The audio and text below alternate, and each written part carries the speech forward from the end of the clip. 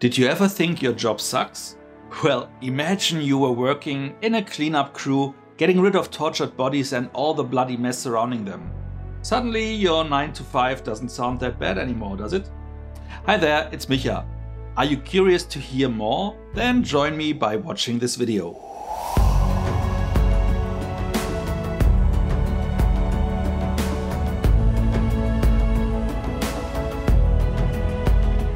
Chang Bok is mostly a simple god-loving guy who, for some reasons, ended up working for the local organized crime lords, getting rid of their leftovers.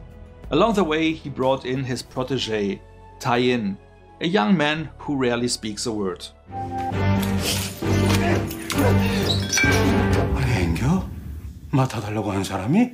One day their boss ordered them to pick up an 11-year-old girl from a group of kidnappers and to keep her for a few days.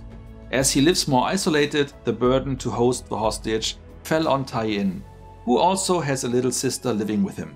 The boss's plan was likely to blackmail Cho Hee's father, but as they went to ask him the next day, they find him duct taped and ready to be tortured.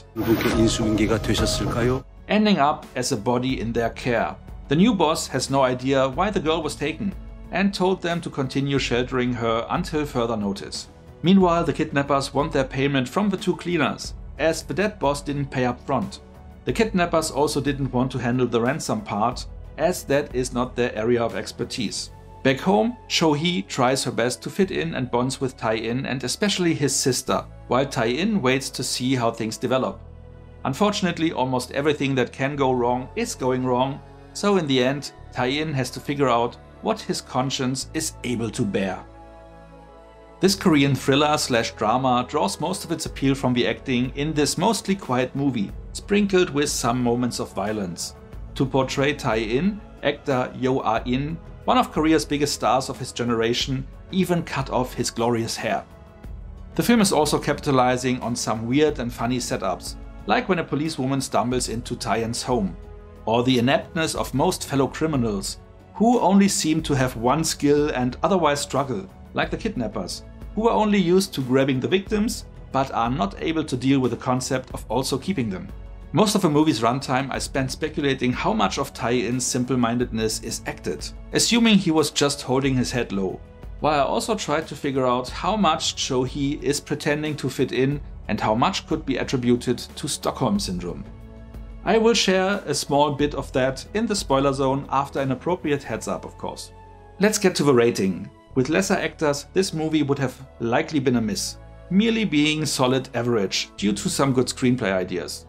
The actors were able though to inject the needed humanity into the characters, so you keep being invested over its entire running time. There still were some moments that were a little bit stretched, and some plot decisions could have been resolved a little bit more elegantly, but it is one of those movies you don't regret to have watched, though you might not rewatch it anytime soon. I'm rating this one with 7 out of 10 points. If you don't want to get spoiled but enjoyed this video so far, please like it now before you leave, and if you are no subscriber yet, maybe consider changing that. If you don't mind spoilers or have already watched the movie, please follow me into the spoiler zone. Welcome to the spoiler zone. Let's check out what else happened in the end. Tae-in's mentor was supposed to get the ransom money, but got so suspicious that he fell down some stairs and died.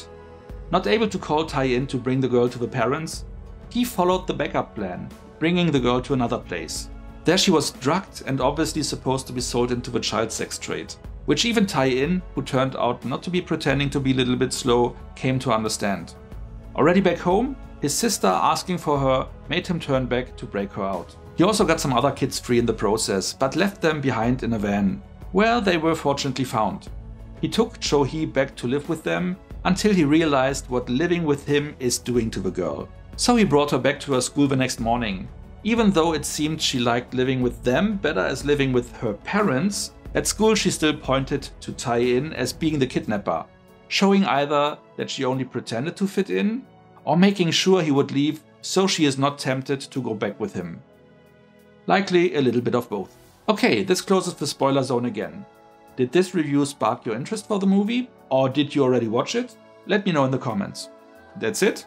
As always, if you enjoyed this video, like it and feel free to share it with your friends. And why not subscribe to my channel so you won't miss any future video. Make sure to also hit the notification bell to get a heads up whenever a new video is posted. So much for now, see you next time, and thanks for watching!